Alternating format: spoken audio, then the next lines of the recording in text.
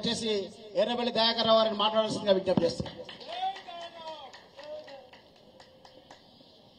సభాధ్యక్షులు తమ్ముడు ఉల్లా శ్రీనివాస్ గారికి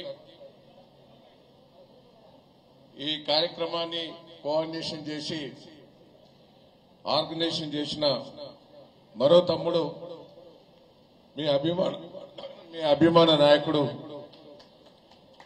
కార్మిక లోకం నుంచే ఒక ఎమ్మెల్యేగా విప్పుగా ఎదిగిన తమ్ముడు ధాన్యం వినయ్ భాస్కర్ గారికి ఈ కార్యక్రమానికి ముఖ్య అతిథిగా వచ్చి ఎందుకంటే మల్లారెడ్డి గారి గురించి నాకు బాగా ఎరక. కార్మికులతోటి ఒక కార్మికునిగా పనిచేసే వ్యక్తి అని. ఎందుకంటే ఆయన రాజకీయ జీవితమే రాజకీయ జీవితం రాకముందు ఆయన కష్టపడి పైకి వచ్చాడు పాల డబ్బాల మీకు అందరు తెలుసు. పాల డబ్బాలతోటి ఒక కార్మికునిగా పనిచేసి ఈరోజు మంత్రిగా ఒక స్థాయికి ఎదిగిన పెద్దలు గట్టిగా చప్పట్లు కొట్టి మల్లారెడ్డి గారు నాకు మంచి మిత్రులు.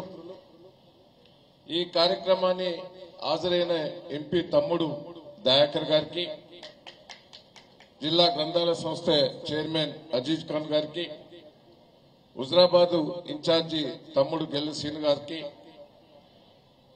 కృష్ణాకర్ గారికి బొట్ల భిక్షపతి గారికి జన్ను సీనియర్ నాయకుడు జన్ను జకరియా గారికి తమ్ముడు సిరిల్ లారెన్స్ గారికి అశోక్ యాదవ్ గారికి కాటారపు రాజు గారికి తమ్ముడు రంజిత్ గారికి రాములు గారికి గంటి శ్రీనివాస్ గారికి జనార్దన్ గారికి సునీత గారికి సామ్యల్ గారికి ఇంకా కార్మిక సంఘాల నాయకులు చాలా మంది వచ్చారు.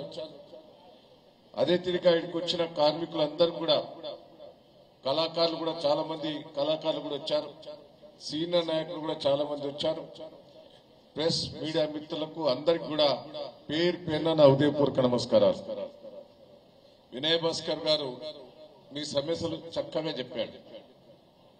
వీడికి వచ్చిన వాళ్ళందరూ కార్మికులే కదా. ఈ చేతులు ఎత్తాడు కార్మికులు.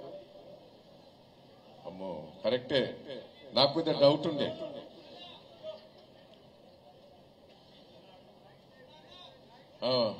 వీళ్ళైతే కరెక్టే ఉన్నారు. నేను మిమ్మల్ని అందరినీ కూడా కోరేది ఒకటే. ఇలా మల్లారెడ్డి గారు వచ్చారు.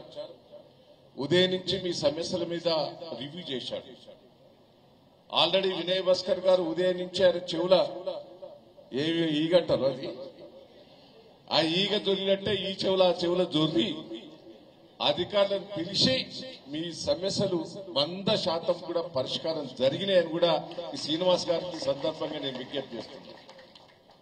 రాష్ట్ర స్థాయిలో ఉన్న ప్రాబ్లంలన్నీ వరంగల్ జిల్లాలో చేశారు. నేను ఇక్కడ నేను మల్లన్నకు ఒకటే కోరుతున్నాం. వరంగల్ హైదరాబాద్ తర్వాత వరంగల్ అనువకొండ కార్మికులు ఉండేది. బతుకు తెరువు కోసం గ్రామాల నుంచి వచ్చి ఇక్కడ కార్మికులుగా పనిచేసే వాళ్ళు చాలా మంది ఉన్నారు. వాళ్ళ పొట్ట గడవటమే చాలా కష్టంగా ఉన్నది.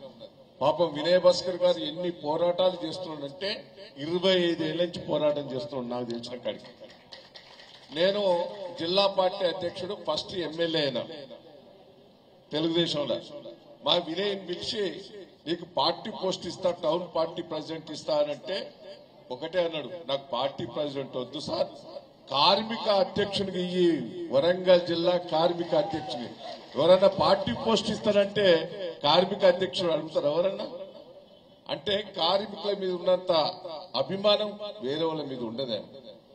మొదటి నుంచి కార్మిక సంఘాల గురించి చిన్న ఆపద వచ్చిన చిన్న కష్టం వచ్చిన వాళ్ళ ప్రాబ్లం వచ్చినా ఎవరిని లెక్క చేయకుండా మీ సమస్యలు పరిష్కారం చేసే ఏకైక నాయకుడు గట్టిగా వినయ్ భాస్కర్ అని కూడా గట్టిగా ఈ సందర్భంగా మీకు తెలియజేస్తున్నాను. ఎందుకంటే ఆ కుటుంబంతో నాకు మొదటి నుంచి కూడా సంబంధం.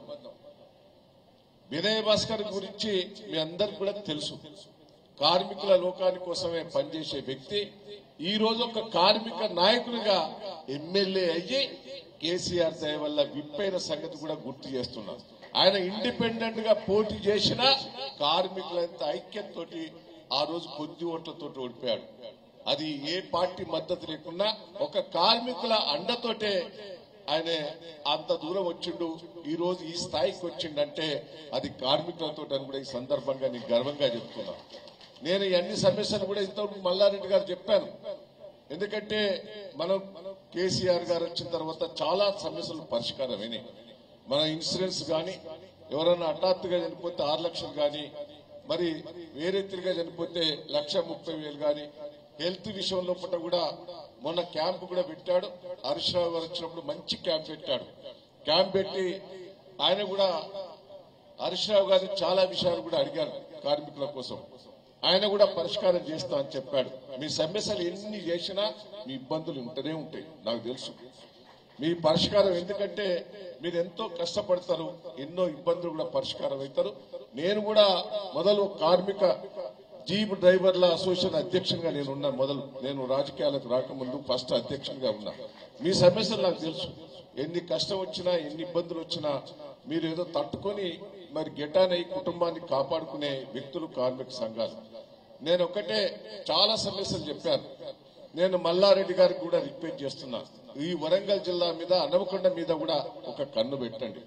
కేంద్రం అయితే ఒత్తి పారిస్తారు కార్మికుల వెంటనే ఒత్తి పారేసే కేంద్ర ప్రభుత్వం ఉన్నది. ఇవాళ ఉదాహరణ చూడండి మా కోచ్ ఫ్యాక్టరీ.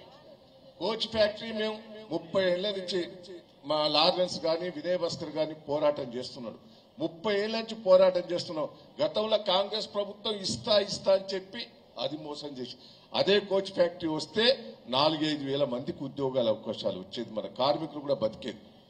దాన్ని కాంగ్రెస్ పార్టీ ముంచింది. బీజేపీ పార్టీ ఎనిమిదేళ్ళ నుంచి తొక్కు పెట్టింది. ఆ కోచ్ ఫ్యాక్టరీ వచ్చినా మనకు చాలా మందికి ఉద్యోగాల అవకాశాలు వచ్చేది. పోనీ ఉన్న ఆయన జామీన్లలో పనిచేసే వెయ్యి పదిహేను వందల కార్మికులను అది కూడా మూసేసింది కాంగ్రెస్ పార్టీ. అంటే కాంగ్రెస్ పార్టీ కేంద్రంలో ఉన్న బీజేపీ పార్టీ నాశనం చేస్తున్నది కార్మిక వ్యవస్థను ప్రభుత్వ ఆస్తులన్నీ అమ్మే ఏర్పాటు చేస్తున్నది. రేపు రేపు ఎల్లుండో రైల్వే స్టేషన్ కూడా రైల్వే వాటిని కూడా ప్రైవేటు వాళ్ళకి అమ్మే ఏర్పాటు చేస్తున్నది. ప్రైవేట్ సంస్థలనే ప్రైవేట్ సంస్థలకు ఉపయెప్పి ఏర్పాటు చేస్తున్నది కేంద్రం. అంటే ప్రైవేటు సంస్థలకు ఉపయెప్తే ఎస్సీ ఎస్టీ బీసీ కులాలకు అన్యాయం జరుగుతుంది. జనరల్ కోటాలనే పైరవులను పట్టినే ప్రైవేట్ సంస్థలకు జాబులు వస్తాయి కాబట్టి పేద ప్రజలకు అన్యాయం చేసేందుకు కేంద్రం పెద్ద కుట్ర పండుతున్నదని కూడా ఈ సందర్భంగా మీరు ఓ పక్క రైతాంగాన్ని నాశనం చేసింది. ఓ పక్క ఇప్పుడు కార్మికులను ఎంబడి పడుతున్నది. ప్రభుత్వ సంస్థలన్నీ కూడా ప్రైవేట్ సంస్థలు చేసే ఏర్పాటు బిఎస్ఎన్ఎల్ అమ్మేసింది. అన్ని కూడా అమ్మేసి ఏర్పాటు చేస్తున్నది. నేను ఒక్కటే నేను మల్లారెడ్డి గారిని రిక్వెస్ట్ చేస్తున్నా. ఈ అనమకొండలో కార్మిక నాయకుడు రాష్ట్రంలో ఒక ఎమ్మెల్యే ఒక చీఫ్ ఉన్నది వినయ్ భాస్కర్ గారు. మొన్న నేను ఒక కమిటీ చేశాను ముఖ్యమంత్రి గారు. ముఖ్యమంత్రి గారు కార్మికులకు భవన కార్మికులకు అనుకోండి వివిధ కార్మికులకు లక్ష లక్ష సైకిల్ మోటార్లు ఇవని ముఖ్యమంత్రి గారు నిర్ణయించాడు. మన బడ్జెట్లో కూడా పెట్టారు. ఆ బడ్జెట్లో పెట్టే కమిటీలో కూడా నేను ఉన్నా మా మల్లన్న నాకేదో చెవులో పూలు పెట్టింది తలుపు. ఏ నువ్వు చెప్పకిప్పుడు అదే. నా లా కమిటీలో నేను హరీష్ రావు గారు మల్లన్న ఉన్నాం. మరి ముఖ్యమంత్రి గారు మీ కమిటీ కూర్చొని నిర్ణయించమన్నాడు. లక్ష తెలంగాణ రాష్ట్రానికి అలాట్ చేశారు బడ్జెట్లో కార్మికులకు ఫ్రీగా వెహికల్స్ ఇవ్వని సైకిల్ మోటార్లు ఇవ్వని. మా పదివేలు మా వరంగల్ అనుకొండ జిల్లాకే ఇవ్వాలనేది నా రిక్వెస్ట్. నువ్వు ఏం చేస్తావో మల్లారెడ్డి గారు ఆ కమిటీలో నేనే ఉన్నా నేను కూడా సంతకం పెట్టాలి. నువ్వు నువ్వు ఇచ్చేదంటే. నేను దయచేసి మా వరంగల్ జిల్లాకు పదివేలు ఇచ్చినప్పుడే ముఖ్యమంత్రి గారు సానుకూలంగా ఉన్నాడు కేసీఆర్ గారు. కేసీఆర్ గారు లక్ష అలాట్ చేశారు. మళ్ళా ఎప్పుడు వచ్చినా కూడా వరంగల్ జిల్లా వరంగల్ జిల్లా అని మరి కేసీఆర్ గారు ఎప్పటికి చెప్తారు వరంగల్ జిల్లా మీద మంచి ప్రేమ ఉన్నది. ఆ లక్షల పదివేలు మా అనవకొండ వరంగల్ కేజాలని మల్లారెడ్డి గారికి విజ్ఞప్తి చేస్తూ ఫ్రీ ఫ్రీగా సైకిల్ మోటార్లు కార్మికులకు టైం పోవాలని ఆ కార్మికుల కోసం ముఖ్యమంత్రి గారు లక్ష కేటాయించడం జరిగింది. ఆ లక్షల పదివేలు మల్లారెడ్డి గారు మా వరంగల్ అనవకొండ కేజాలని రిక్వెస్ట్ చేస్తూ అనవకొండలనే కార్మిక నాయకుడు ఉన్నాడు కాబట్టి వినయ్ భాస్కర్ గారు ఆధ్వర్యం లోపల ఆ పదివేలు ఉపజెప్పి ఏర్పాటు చేయాలని కూడా ఈ సందర్భంగా తెలియజేస్తూ ఈ అవకాశం ఇచ్చి కార్యక్రమంలో పాల్గొన్న మల్లారెడ్డి గారికి మిగతా మిత్రులకు కార్మిక సంఘాలందరికీ నేను మల్లారెడ్డి గారికి చెప్తున్నా రాష్ట్రంలో ఎవరైనా చేస్తున్నారో చేయలేదు కానీ ఒకటో తారీఖు నుంచి ఒకటో తారీఖు నుంచి ఇప్పటి వరకు వినయ భాస్కర్ కార్మికులతో ఎంబడుండి హెల్త్ క్యాంప్ కానీ వాళ్ళ ఇన్సూరెన్స్ కానీ వాళ్ళ పద్ధతి కానీ మంచిగా చర్యలు తీసుకుంటున్నారు. రాష్ట్రంలో నెంబర్ వన్గా గా అనవకొండ నియోజకవర్గంలో వినయ్ భాస్కర్ చేసిండు. నేను వీళ్ళకి ఎన్ని సాయం చేసినా కూడా మీకు మీకు కూడా ఇంట్రెస్ట్ ఉండాలని కూడా ఈ సందర్భంగా తెలియజేస్తూ అవకాశం ఇచ్చిన అందరికి కూడా పేరు పేరున కృతజ్ఞతలు ధన్యవాదాలు. Thank you